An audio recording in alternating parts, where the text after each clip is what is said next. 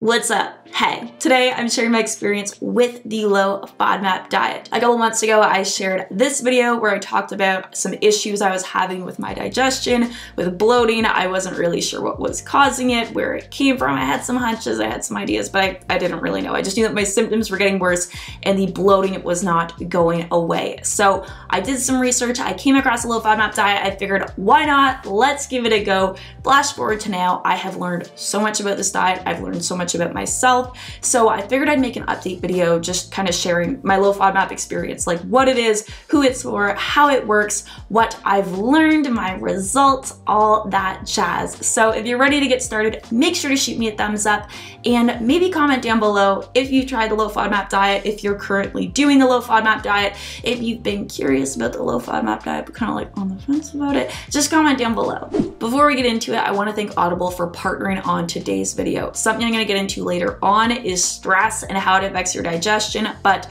Long story short, listening to an audiobook or listening to a sleep program before bed can be a welcome change from scrolling social or being glued to your computer all day. I know these past few months I've been spending a lot more time at home, a lot more time with Jeff, like just us and the dogs. So hearing someone else's voice, anyone else's voice can be a welcome change, can make things feel a little bit more normal, can make me feel a little bit more sociable. Audible has also just launched a new site at stories.audible.com where anyone, anywhere can stream hundreds of titles completely free, no membership required. It is an ad-free experience. You don't need to download an app, you don't need to sign in, you don't need to log in. You just click, stream, and listen. So if that's something that you think you'd be interested in, go to www.audible.com slash Abby Pollock or text Abby Pollock to 500500 to get one free audiobook, unlimited Audible originals, as well as a 30-day free trial. So what is the low FODMAP diet. By definition, a diet describes what you eat. It does not describe how much you eat, it does not describe your goal in eating this way, and none of that. FODMAP is an acronym that stands for fermentable, oligo, di, monosaccharides, and polyols. This is a group of carbohydrates that are especially hard to digest, and so when your gut bacteria digest them and eat them, they produce gas, and this can cause digestive upset in some people. So the idea of the low FODMAP diet is that by reducing the amounts of these foods that you eat, you should be able to reduce these symptoms symptoms. This elimination diet strategy is not unique to the low FODMAP diet. More broadly, it's often used for identifying food sensitivities and intolerances.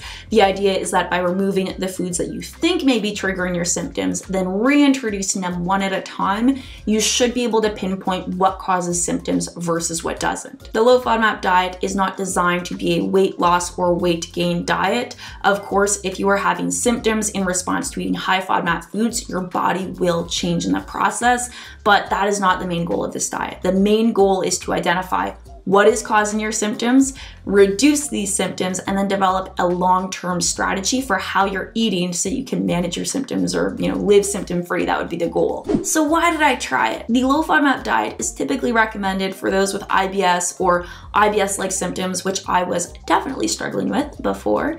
This is uncomfortable to share. I wouldn't normally share this because I normally film on good digestion days when I'm feeling good, but this was maybe after two meals I had pushed back eating until later in the day. I'd just been sipping herbal tea and water, like doing everything that I thought was right for my digestion. This type of thing wasn't uncommon, so I just kind of got into a routine of pushing back my eating until the end of my workday or until the end of the filming portion of my workday, which I don't recommend. I don't think you should fast that long. I, I think you should probably be eating more frequently than that. It was kind of tricky because I knew the moment I it was likely that this was gonna happen, that I was signing up for this, you know, feeling uncomfortable, feeling sluggish, feeling tired, feeling like I had to go to the bathroom, but I couldn't. So in terms of justifying a diet change, yeah, these symptoms weren't fun. They were definitely affecting my quality of life, and I was willing to try anything that might make a difference. If you would like to learn more about the science behind this, like the scientific basis for the diet, how it works, where it came from, definitely comment down below and maybe we can get an expert on like in a future video. So how does it work? The low FODMAP diet can be broken down into three phases. The first phase is the elimination phase. It is exactly as it sounds. We are eliminating all high FODMAP foods from our diet and replacing them with low FODMAP alternatives so that we can get to a like a place or a baseline of no or significantly reduced symptoms. This phase will typically take between two to six weeks. It really depends on your adherence. I know that I made some mistakes in my first couple weeks, so I didn't actually remove all high FODMAP foods. Um, so it just kind of depends how quickly you can get into the routine of eliminating and substituting those and getting to a baseline of no symptoms. It is recommended that you do this phase under the guidance of a healthcare professional as it can be really easy to eliminate the foods, but forget to substitute in low FODMAP foods, which can lead to undereating, nutrient imbalances, or just developing a less than healthy attitude towards food. Phase two is the reintroduction phase. So this is where we get to test high FODMAP foods one at a time to see if they trigger symptoms. This phase does take longer, typically in the six to eight week range, because you wanna reintroduce foods one at a time so that you're reducing the number of variables. You can really pinpoint if that food causes symptoms or not. You'll then also wanna test different portions of that food to see if there's a threshold of a high FODMAP food that's gonna cause symptoms. And then after you've tested a food, you're gonna wanna take a few days to reset in between to get back to that baseline of like no or significantly reduced symptoms. So it does take a bit longer. This is the phase I'm currently on. It's honestly pretty tough, but it is what it is. And then phase three is the integration phase where we get to take everything that we learned from phases one and two and incorporate it into our long-term eating plan. So including the high FODMAP foods you tolerate well, avoiding the, the high FODMAP foods you don't tolerate well, and then continuing to listen to your body so you can refine this over time. So what did I learn and what were my results? For reference, this is me before going low FODMAP, during a flare-up, a bad digestion day, not feeling good, and here is me now, sticking to the low FODMAP diet, not doing anything too wild and feeling a whole lot better. Beyond just the physical or visible changes though, the way that I feel is night and day. I am waking up energized. I'm no longer feeling anxious over my food choices, wondering like what the heck is gonna happen. I'm no longer getting that painful bloating or painful pressure in my lower abdomen. I'm able to go to sleep tired and actually fall asleep quickly instead of tossing and turning. And beyond that even, like an unexpected but really exciting benefit of this is the impact that this diet has had on my running.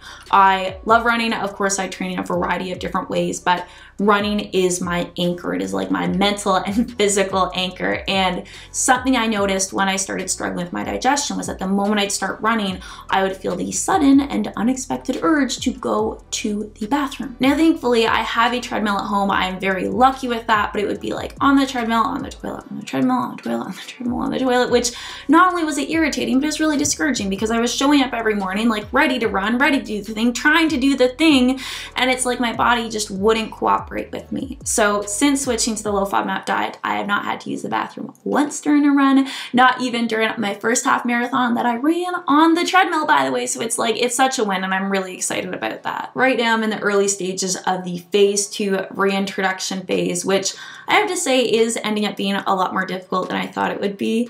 Um, I thought phase one would be the toughest because you're eliminating all high FODMAP foods, but I think what makes this tougher is that in phase one, you get that instant win, right? It's like you drop the you drop the high FODMAP foods and boom, you remember what it's like to not be bloated and to actually feel good again.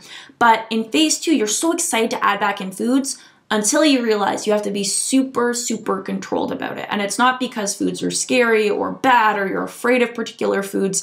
It's because in order to reduce the number of variables in this experiment and really pinpoint what causes symptoms versus what doesn't, you have to reintroduce one food at a time, starting in a very small portion, then gradually easing that portion up as you may have different like threshold tolerances to different foods. So that's the first challenge. The other big challenge is understanding that what you eat eat is not the only variable that's going to affect your digestion. How often you eat, how much you eat, how much you sleep, your quality of sleep, stress, all these things that you may or may not have habits around managing going into the low FODMAP diet that can have very real impact on your digestion and can skew your interpretation of the results that you're getting. Something I know I struggle with is stress management. Stress directly impacts your digestion by reducing transit through the small intestine, increasing inflammation, decreasing nutrient absorption, and making you more bloated and more gassy regardless of whether you have IBS or IBS-like symptoms or not, stress is not good for your digestion. And I have not been good at dealing with stress these past couple months. So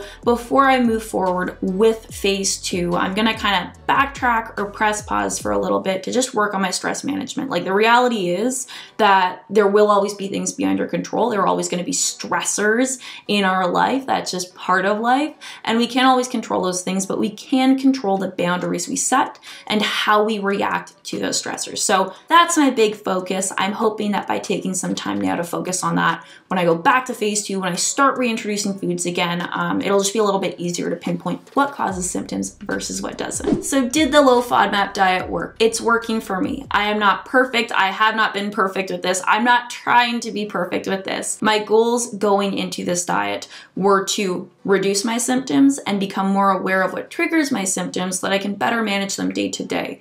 There are many reasons why this diet may or may not work for you, but one thing that I haven't really seen covered a ton in the low FODMAP info I found online is the mental side of starting a new diet regime. I will be the first to say that I have not always had a healthy relationship with food. Food is really, really tough. Food is more than fuel, and so by eating clean or adhering to a specific dietary regime that you deem better, that does not, that's not like fueling with premium. While food is a physical necessity, many of us have complex mental and emotional relationships with it. And I get that when you're looking at other people's diets online, it can be really difficult to look at those objectively and not compare them to our own. The reason I'm sharing my experience with this diet is because I want to be honest with you. Like, this is something I'm trying because I think it has the potential to improve my quality of life. I'm not trying to lose weight with it. I'm not trying to gain weight with it. Like, I'm doing this to feel better and I don't want you to be wondering like why my meals look a little bit different or you know why I'm doing things a little bit differently right now. Trying this diet does not make me better or worse than you.